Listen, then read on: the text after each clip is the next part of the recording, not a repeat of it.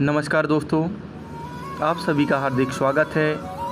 आज हम आप सभी के लिए लेकर चलते हैं प्रसिद्ध शक्तिपीठ दतिया।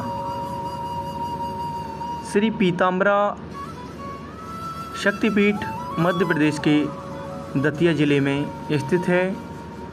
यह दतिया रेलवे स्टेशन से मात्र तीन किलोमीटर की दूरी पर स्थित है।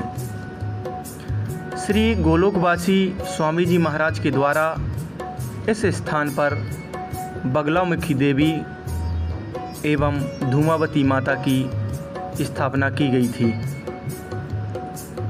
पीताम्बरा पीठ में स्थित वानखंडेश्वर मंदिर महाभारत कालीन प्राचीन प्रसिद्ध मंदिर है। माँ पीताम्बरा के दर्शन करने के लिए हमें लंबी लंबी लाइनों में लगकर अपनी बारी का इंतज़ार करना पड़ता है।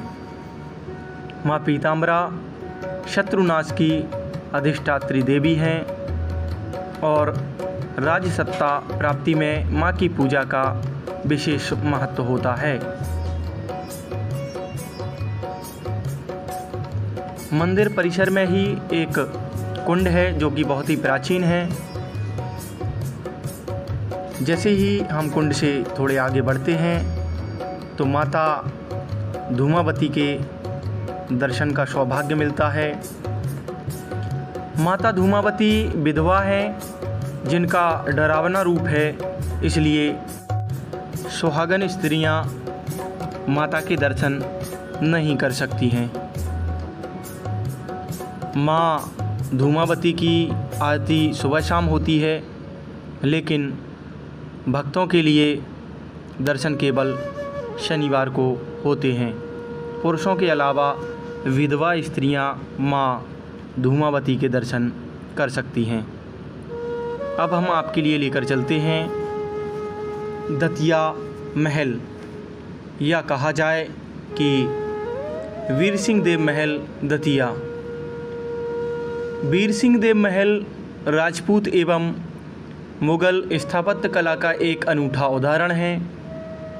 इस महल का निर्माण दतिया के बुंदेला शासक वीर सिंह देव ने कराया था और वह सन था 1620 ईस्वी। इस महल को नरसिंह अथवा पुराने महल के नाम से भी जाना जाता है।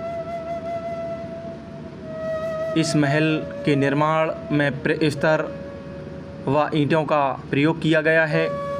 लकड़ी एवं लोहे का प्रयोग कहीं पर देखने को नहीं मिलता है। भवन योजना में ये चौकोर है, जिसके चारों कोनों पर अष्टकोणीय मीनारे हैं। पाँच मंजिल इस महल में प्रस्तर जालियों का बहुत खूबसूरती से प्रयोग किया गया है। यह महल विभिन्न छत्रियों जिन पर गुम्मद बने हैं से सुसज्जित है। इसके कई भागों की छत भीतर की ओर से उकेरी हुई कला से सुसज्जित है।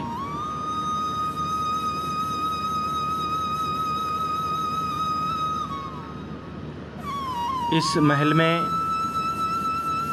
कई ऐसे दरवाजे हैं जिन्हें अब बंद कर दिया गया है।